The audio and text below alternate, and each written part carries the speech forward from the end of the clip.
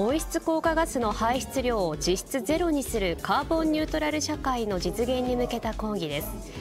今日福島大学で講師を務めたのは大手自動車メーカートヨタで水素エネルギーの研究をしている浜村義彦さんです。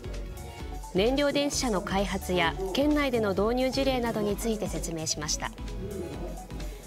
いわき市の電池試験装置メーカー東洋システムの庄司秀樹社長もオンライン参加し人材育成について話しました。講義を受けた学生は来年県内でカーボンニュートラルの普及啓発を行います。